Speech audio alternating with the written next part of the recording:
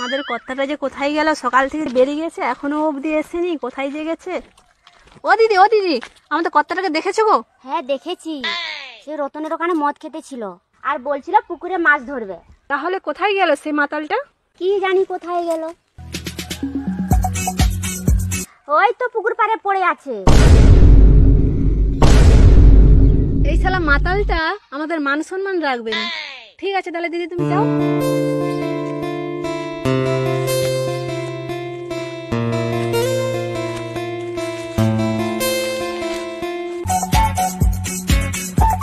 ঘর চলো ঘর চলো। এই উঠো ঘর চলো। মাতাল মদ খেয়ে এখানে পড়ে আছে এই মাতাল বলবে না। আমাকে মাতাল বললে কেন? তুমি মাতাল তোমার বাপ মাতাল ভাই মাতাল তোমার চোদ্দ গোষ্ঠী মাতাল। আমাকে মাতাল বলছে।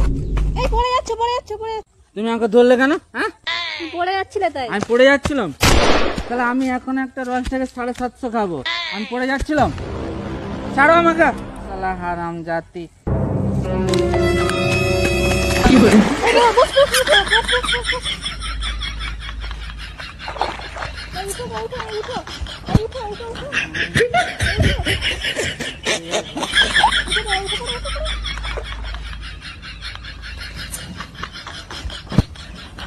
Hey!